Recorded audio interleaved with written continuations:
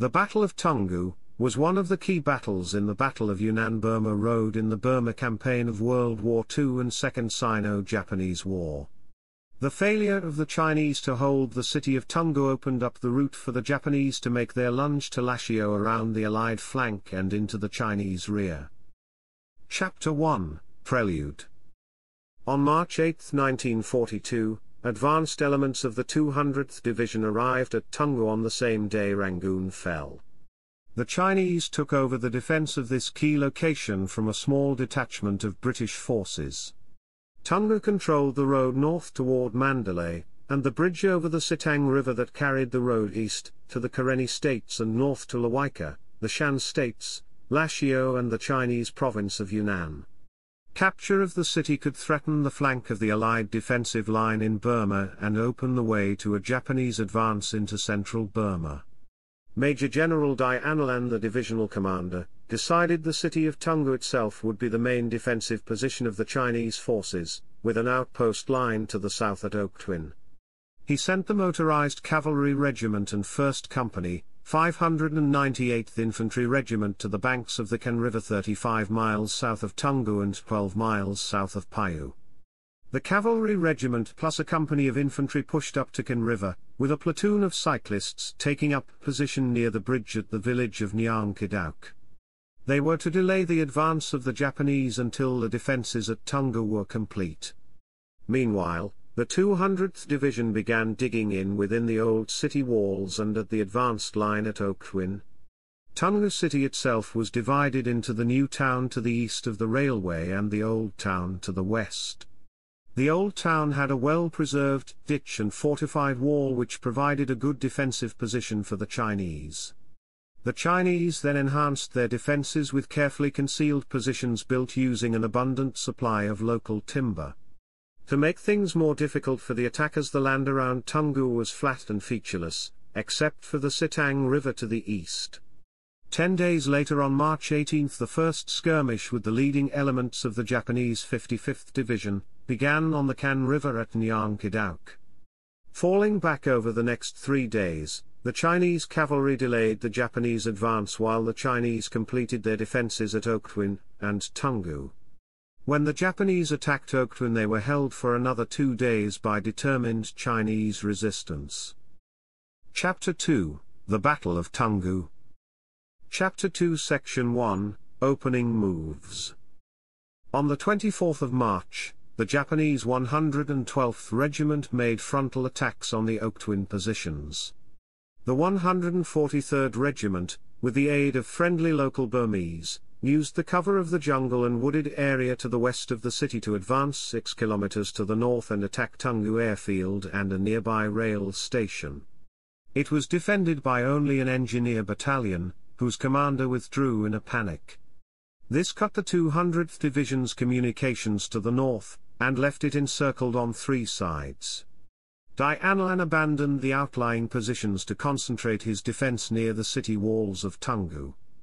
598th Regiment held the northern part of the Toungoo defense, 599th Regiment held the south of the city, and 600th Regiment defended the west.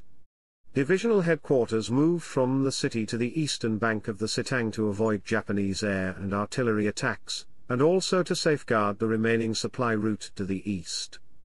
Part of a replacement regiment which had arrived the previous day was posted on the eastern bank of the Sitang River, to extend the positions to cover the supply line as well as the divisional HQ. Chapter 2 Section 2 Attack on the City At 0800, on March 25 the Japanese launched an all-out attack against all three sides of the city, with the 143rd Regiment on the left, the 112th Regiment on the right, and the Cavalry Regiment plus a company of infantry attacking along the Sitang River. The objective was to press the Chinese forces against the Sitang where they would be annihilated. Despite local penetrations in the northwestern part of the defensive perimeter, Heavy Chinese resistance prevented the Japanese making major progress until 2200 when Japanese troops infiltrated Chinese positions in the northwestern part of the Toungoo citadel, soon followed by a full battalion. The Chinese reinforced the 600th Regiment with the 2nd Battalion, 598th Regiment and counter-attacked.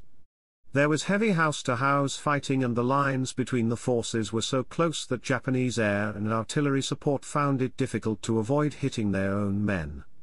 The counterattack failed to recover the lost positions when Japanese troops made good use of the buildings and the stone walls around a local cemetery. The 600th Regiment was moved back between the other two regiments to defend Toungoo city itself. Elsewhere the bridge over River Sitang became the target for Japanese firepower and was so severely damaged that vehicles could not cross it. Japanese attacks continued on March 26. The 112th Regiment attacked and took the southwestern corner of Toungoo but was unable to make any further progress. On the left, a flanking move to attack the northwestern part of Toungoo was no more successful. The cavalry regiment's attack was also repulsed. The Chinese launched counterattacks against the 112th and cavalry regiments with about 300 troops in each sector. These were repulsed, but losses were heavy and offensive strength dropped. By the evening, the Japanese had taken the western part of the city to the west of the railroad while the Chinese troops held on to the main part of the city east of the railroad. Both sides faced each other across the railway at a distance of less than 100 meters, making it difficult for Japanese air and artillery support. Eventually the Japanese withdrew some 200 meters to allow their planes and guns to operate.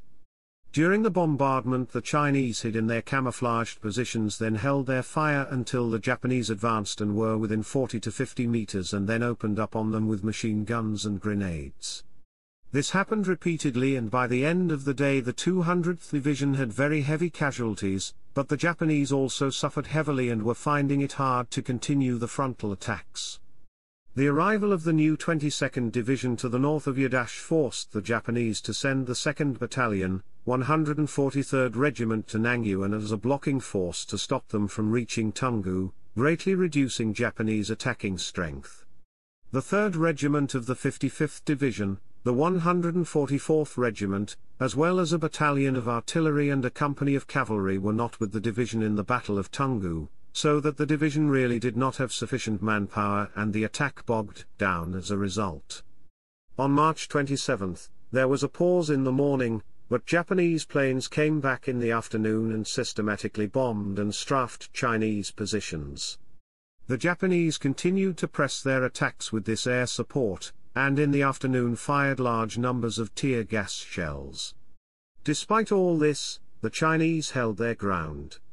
It was then decided to wait for the 3rd Field Artillery Regiment with its 15 cm howitzers to arrive to attack the Chinese positions again on March 28, which was also to be supported by air attacks. Chapter 2 Section 3 New Assault On March 28, the 3rd Heavy Field Artillery Regiment arrived, and with strong support from bombers and more gas attacks inflicted heavy casualties on the Chinese. The right wing of the attack managed to destroy many Chinese strongpoints with artillery support. However, the light bombers did not arrive until 1500 due to heavy fog at the airfields, and it was not possible to overcome stubborn resistance of the Chinese due to their defense in depth, even though the fighting lasted into the evening. Meanwhile, the reconnaissance regiment of the Japanese 56th Division, consisting of two motorized infantry companies and a machine gun company, a field artillery company of mountain guns, and a platoon of engineers, was moving rapidly north from Rangoon in a column of 45 trucks, with a company of six armored cars and a total of some 404 men. It made rapid progress along the main road to Toungoo and reached Divisional HQ of the 55th Division by noon on March 28. It was decided to move this force east of the Sitang River to attack the rear of the Chinese positions. Crossing at 2000 the same day, it forded the Sitang at Wagi, a few kilometers south of the city where the water was only chest high, leaving its vehicles behind. If the Japanese attack east of the Sitang was successful, the entire 200th Division would be encircled.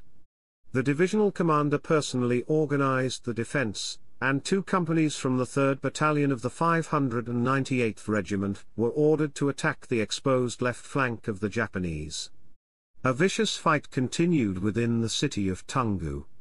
Around the divisional HQ on the east bank, fighting inflicted heavy casualties on the 3rd Battalion, 599th Regiment as well as the Divisional Support Company, but the Chinese were able to hold their ground. On March 29, the 55th Division used its last strength to attack, supported by all available guns.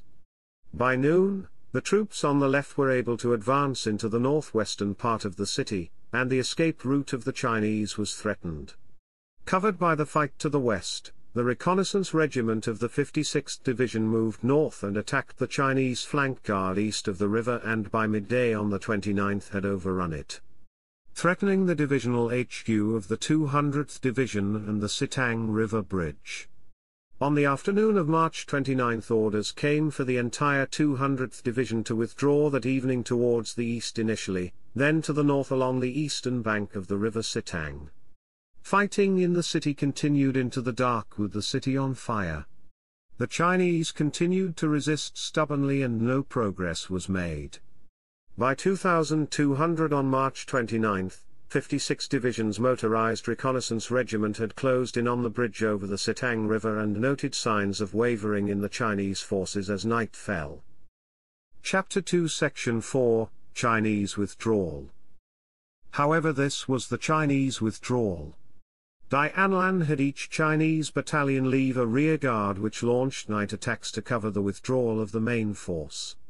The retreat was led by the 599th Regiment crossing the battered and threatened bridge, followed by the 600th Regiment and then the 598th Regiment, which forded the river.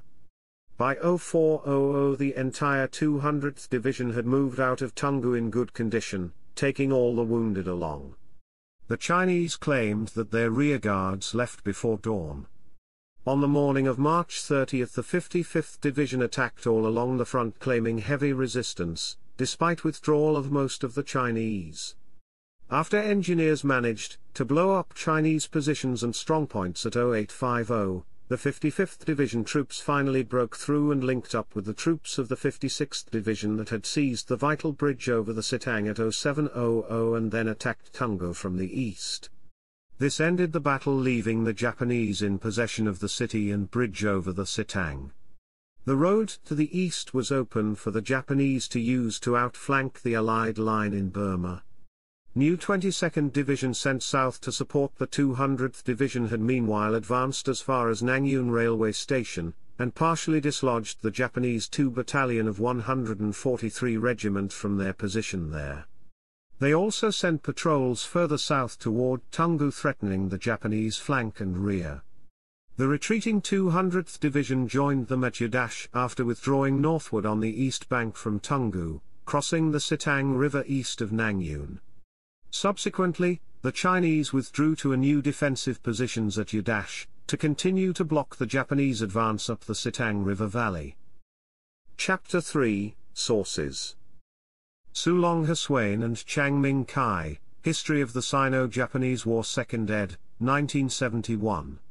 Translated by Wenha Shung, Chungwu Publishing, 33, 140th Lane, Tunghua Street, Taipei, Taiwan Republic of China. Page 376. China's anti-Japanese war combat operations. Author, Go Rugi, Editor-in-Chief Huang Yushang.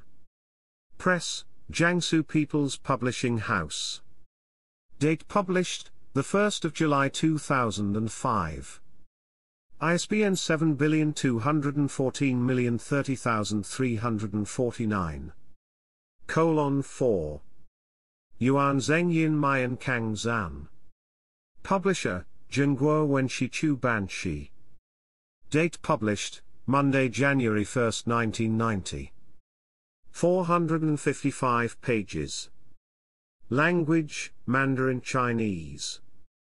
ISBN 75034 ISBN 978 75034 A collection of memoirs and first-hand accounts by KMT officers. Biography of Dai Anlan, by Dai Chengdong, Anhui People's Press, 1998.